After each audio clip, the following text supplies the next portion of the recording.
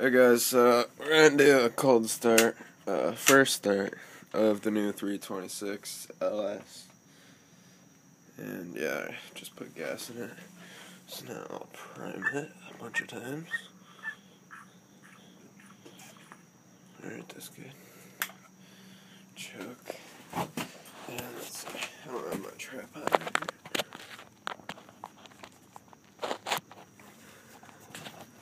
in trying to lean against my chainsaw. That might work, I guess. No? no, that won't.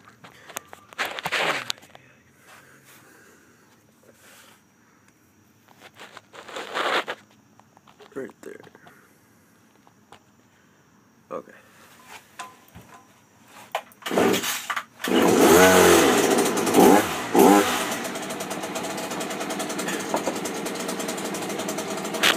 Alright, so while I let this run, really quiet. While I let this run, um, I am going to try to make a trimmer head with parts from two heads. Um, because I don't, I don't even know how to use the one that's on it.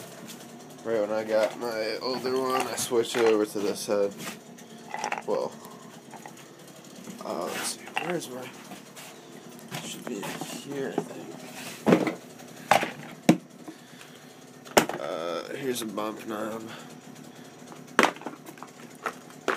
Alright, yeah, right here. See, this is the part that came out, the metal part.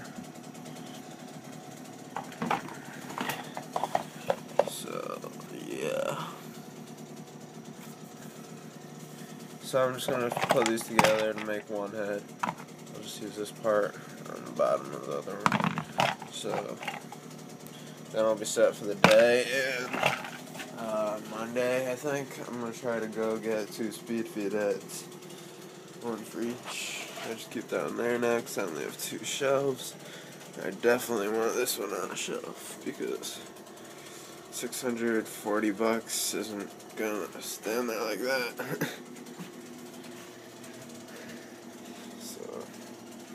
yeah. Alright, see you later, guys. Thanks for watching. Please rate, comment, and subscribe.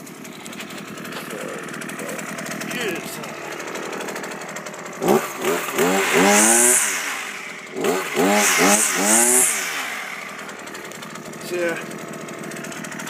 Alright, see ya.